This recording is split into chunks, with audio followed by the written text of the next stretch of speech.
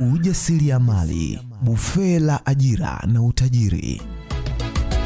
Yule aliyekuumba alijua kuna kitu fulani unatakiwa ukakifanye duniani.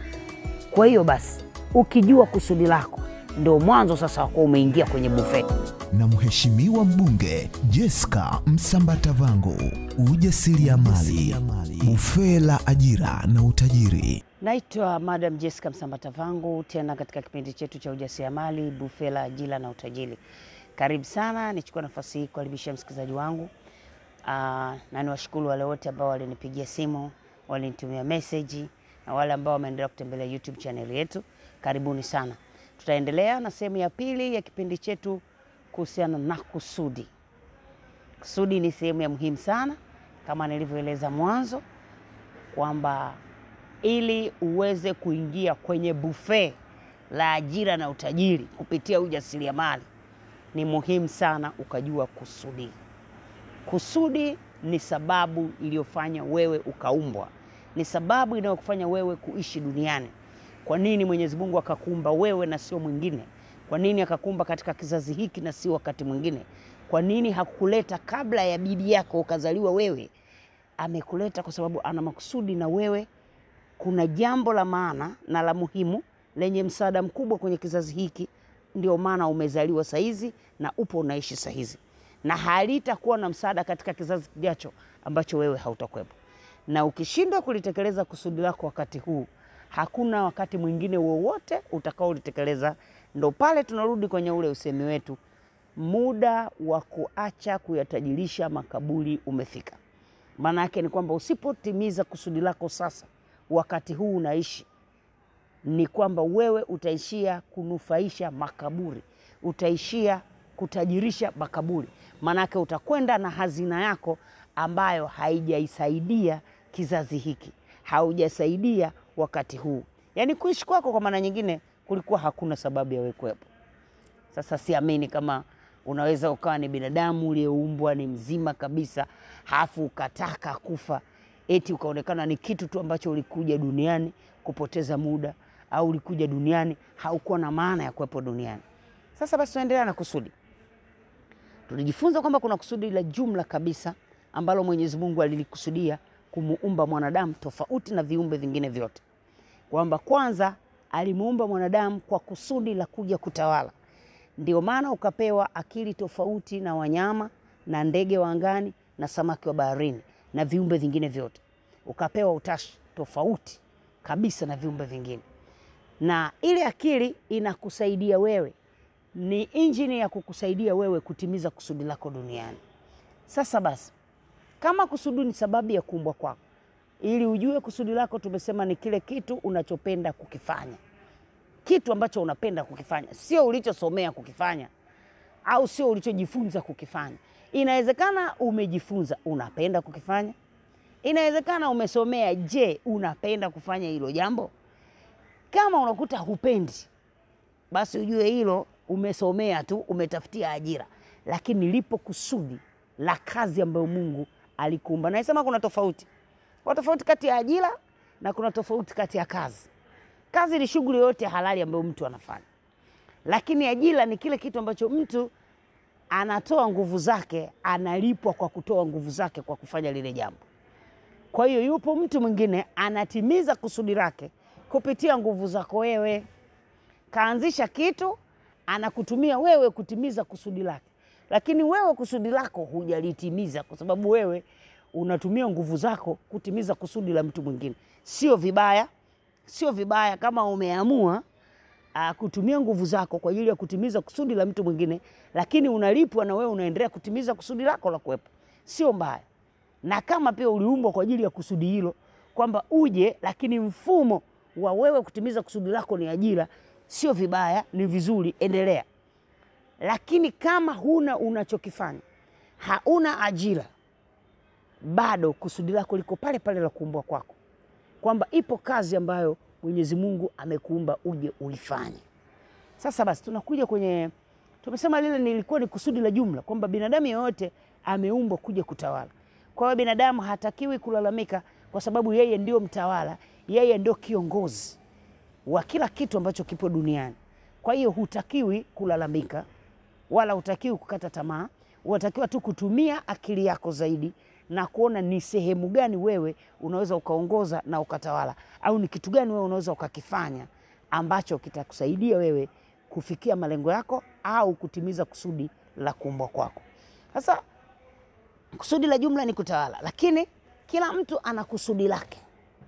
Kutawala, unatawala sehemu gani? Katika kutawala kwamba unaweza ukatisha kitu chochote, lakini unatawala sehemu gani?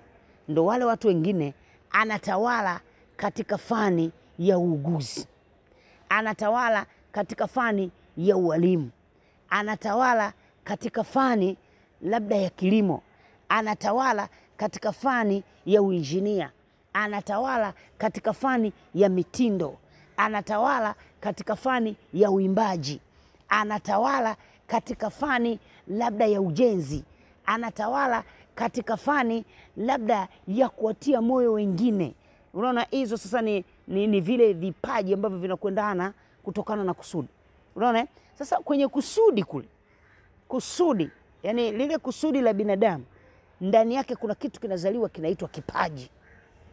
Kipaji ni ule uwezo wa pekee ambao umepewa bure tu kama zawadi, ambao wewe hujawahi ulipia chochote, na kuna vitabu ambavyo vimeandika. Kwa mfano, Biblia inasema kabisa kipawa au kipaji ni kitu cha thamani sana machoni pa yule aliye nacho, na kila anapojitahidi kukibadilisha kile kipaji chake kinampa kufanikiwa.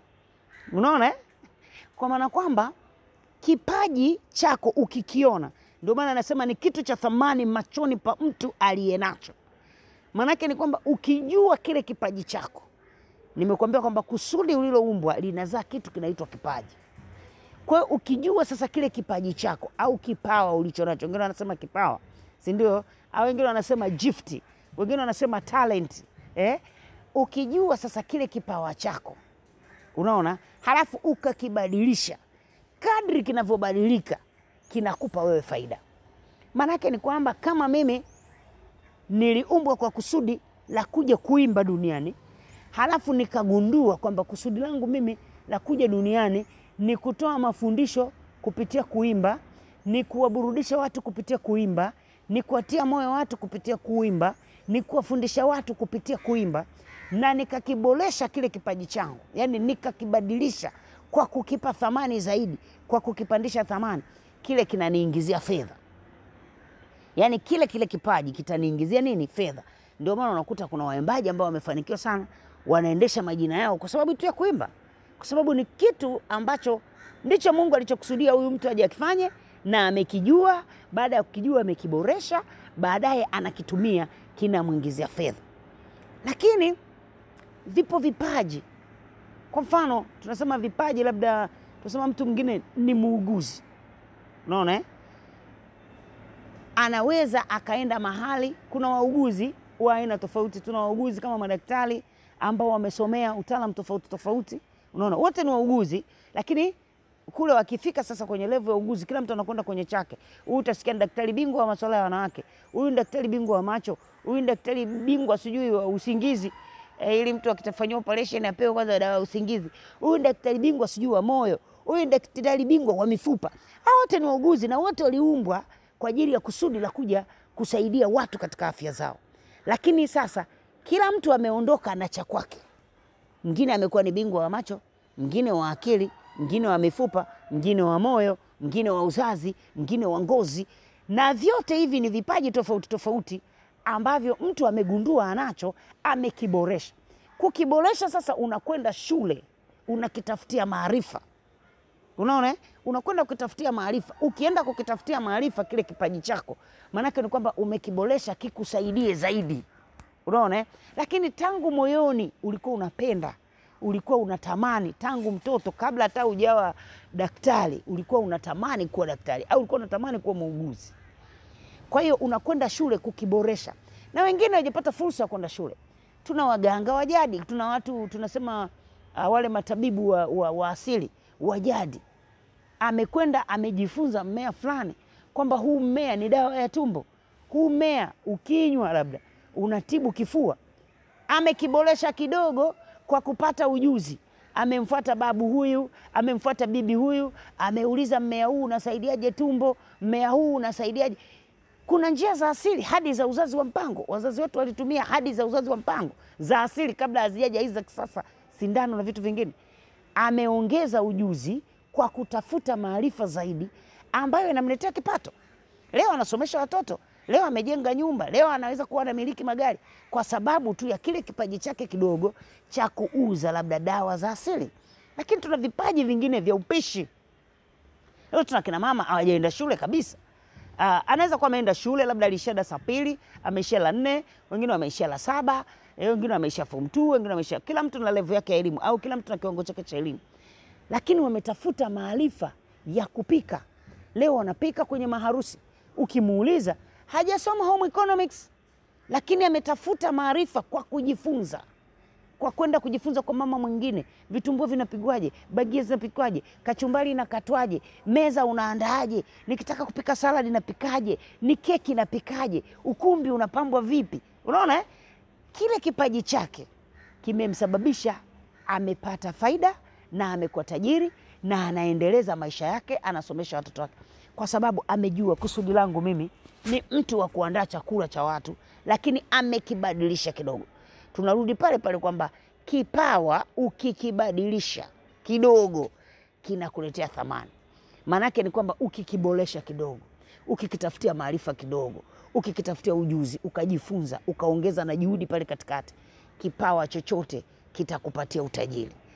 Endelea kutusikiliza katika hivi vipindi vyetu, utunufaika sana, kwa sababu ndio maana tunakwambia ili ni buffet wewe mwenyewe utachukua maarifa itakayokusaidia, utakwenda kuitumia na itakutoa mahali pengine. Tunaendelea na kusudi sehemu ya pili, ili tunaendelea kujifunza kusudi la kuumbwa kwako sehemu ya pili. Leo tumeondoka hapo, tumekwenda kwa kusudi la mtu mmoja mmoja. Ujasiriamali, buffet la ajira na utajiri. Asante, tunaendelea kusudi la mtu mmoja mmoja. Kama nilivyosema, kusudi la jumla ni kutawala. Kwa hiyo kama binadamu lazima ukumbuke wakati wote kwamba hakuna hali yoyote inayotakiwa ikutawale wewe, ikutishe wewe, au uonekane kwamba imekushinda. Haiwezekani, kwa sababu wewe tayari Mungu alivyokuumba peke yake amekumba kwa kusudi la kufanya nini? La kutawala. Na ndio maana unakuta binadamu wanaishi katika mazingira yote.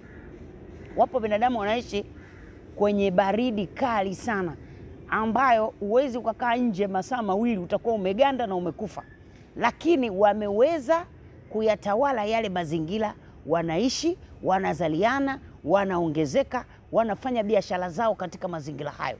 Na wapo watu wanaishi kwenye joto, sehemu yenye joto kali, yaani wakati mwingine ukitembea mpaka unakuta unababuka kwa kuungua na jua, lakini wanaishi kwenye mazingira hayo, wanazaliana, wanafanya shughuli zao na maisha yanaendelea. Na ndio maana sasa unakuta binadamu alitumia akili, akaona kabisa sehemu za joto kali kwa mfano mazingira tunasema ya pwani kama Dar es Salaam, ukiingia kwenye gari kakuwekea kiyoyozi ili uwashe kiyoyozi, pandisha vioo vyako mpaka juu, washa kiyoyozi. Lakini ukijifungia vioo Dar es Salaam afu hamna kiyoyozi, ndio tunasikia watoto walikufa kwenye gari, walikosa hewa na vitu kama hivyo. Kwa hiyo ametengeneza mfumo wa kukuingizia hewa kwenye gari ili hata ukikaa kwenye gari usife kwa kukosa hewa, hata kama utakuwa umefunga vioo vyote.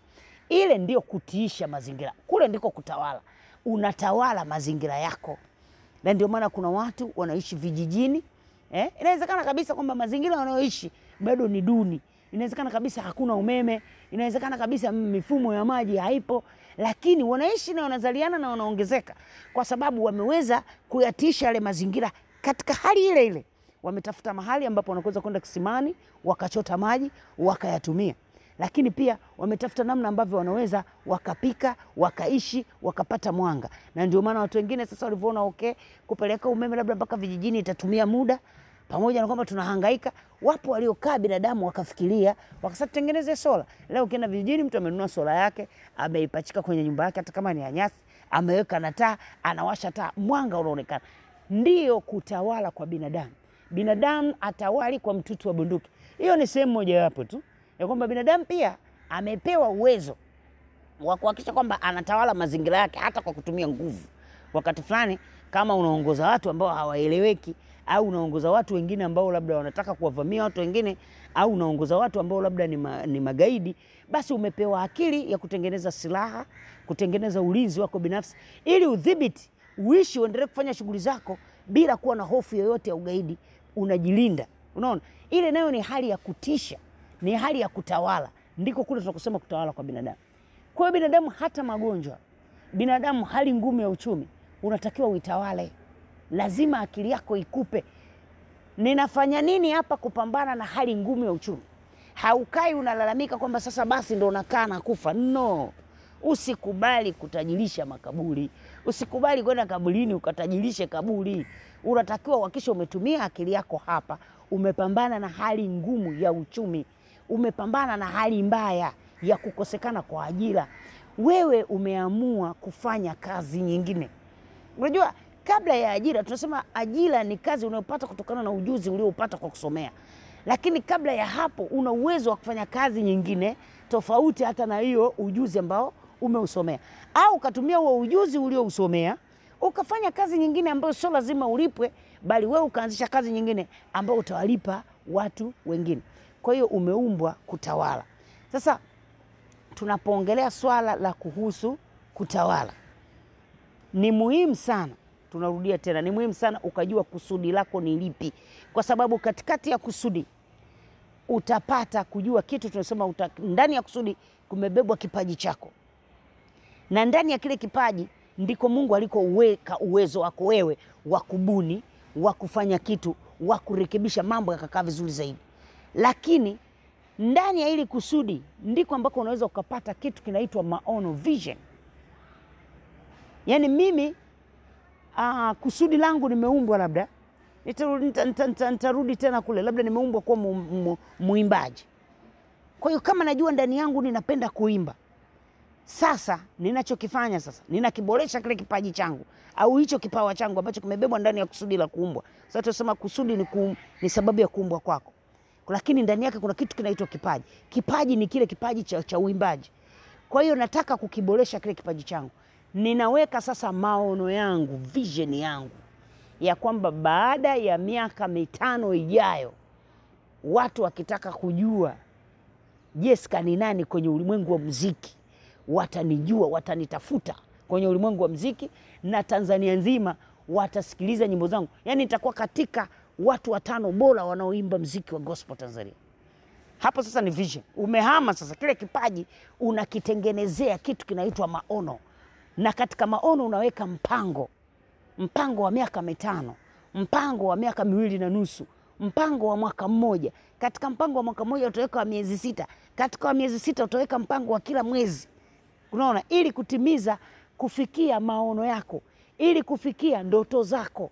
Unaona, ndoto za kuwa mwimbaji mkubwa au maono ya kuwa mwimbaji mkubwa, lakini lazima huku chini uwe unakusudi unakusudi una, uliumbwa kufanya nini? Unakusudia kufanya nini? Unakusudia kuwa nani?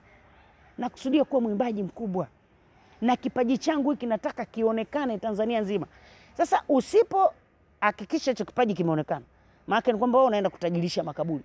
Utakufa bila kutuimbia nyimbo ambazo Mungu ameziweka ndani yako humo kwenye akili zako. Kwa hiyo unakwenda unakwenda nazo makaburini, kwa maana kwamba wewe umeondoka na utajiri wa uimbaji, umeenda nao makaburini. Sisi kama binadamu wenzio haujatunufaisha kwenye kizazi chako. Kwa hiyo tunataka tunufaike na wewe kwenye kizazi hiki. Kwa hiyo utakiwa kukata tamaa, lazima kama binadamu uhangaike, uhakikishe kwamba unanoa akili zako, ujue kabisa kwamba kizazi hiki mimi ninakiachia alama hii ya nyimbo zangu. Wapo watu leo wamekufa.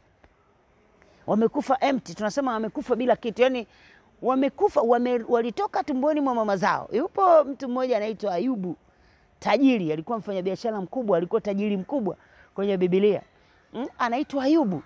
Yule Ayubu alikuwa na ngamia, alikuwa na watoto wazuri na majumba mazuri, alikuwa mfanyabiashara mkubwa, tajiri mkubwa wakati huo, mpaka mpaka mbingu, mpaka Mungu mwenyewe anajua Ayubu alikuwa ni tajiri, alikuwa na watoto wazuri, lakini Ayubu alipata mitihani mingi, alipata majaribu tunasema mengi, akapoteza utajiri wake wote, akapoteza mali zake zote, akapoteza um, akapoteza na watoto wake wote. Unaona eh? Alivyopoteza vile vitu vyake, Ayubu hakukata tamaa, aliendelea kuhakikisha kwamba anasimamia kusudi. Hata alipoumwa sana akasema, nilitoka tumboni mwa mama yangu ni uchi, lakini nilipokuja duniani nilitafuta utajiri na nilikuwa tajiri, lakini sijuti kurudi nikiwa uchi, kwa sababu tayari dunia imetambua kwamba Ayubu alikuwepo na alifanya vitu gani. Kwa hiyo hakikisha na wewe dunia itambue, mpaka unapokwenda kufa, dunia itambue kwamba kuna vitu, kuna mtu alikuwa anaitwa fulani duniani na aliacha vitu. Alikuwa tajiri, alikuwa mfanya biashara mkubwa, alikuwa mwalimu mzuri, alikuwa mwanasiasa bora. Lazima watu watambue kwamba ulikwepo. Utarudi ukiwa hauna kitu, umeacha vya duniani duniani, unaenda na vya mbinguni mbinguni, unarudi kuwa udongo vile vile kama unavyotakiwa kurudi. Ujasiriamali, bufee la ajira na utajiri. Yule aliyekuumba alijua kuna kitu fulani unatakiwa ukakifanye duniani. Kwa hiyo basi, ukijua kusudi lako, ndio mwanzo sasa wakuwa umeingia kwenye bufe. Na Mheshimiwa mbunge Jessica Msambatavangu, ujasiriamali, bufe la ajira na utajiri. Hapa Channel 10 kilicho bora kabisa.